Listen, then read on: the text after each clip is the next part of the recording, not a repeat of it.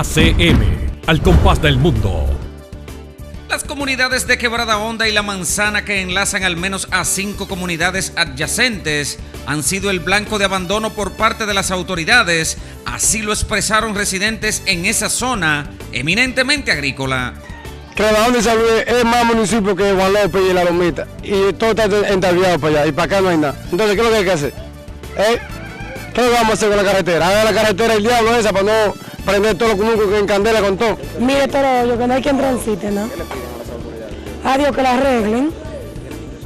Claro, siempre de que la van a arreglar y nunca la arreglan. Manifestaron que no es posible que desde la era del doctor Joaquín Balaguer esos caminos estén en condiciones tan catastróficas. Bueno, le queremos hacer un llamado a, a las autoridades porque esta carretera es, es ya usted sabe que esta carretera cuando llueve es intransitable, no se puede ni siquiera cruzar.